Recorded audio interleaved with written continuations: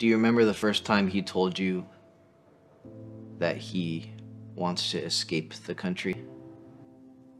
Yes.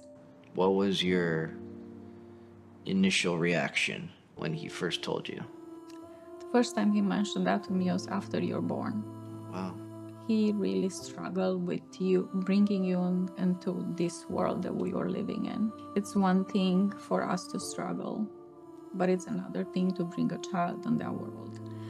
And he said all the time, he mentioned, I want Flavius to do better, to have better.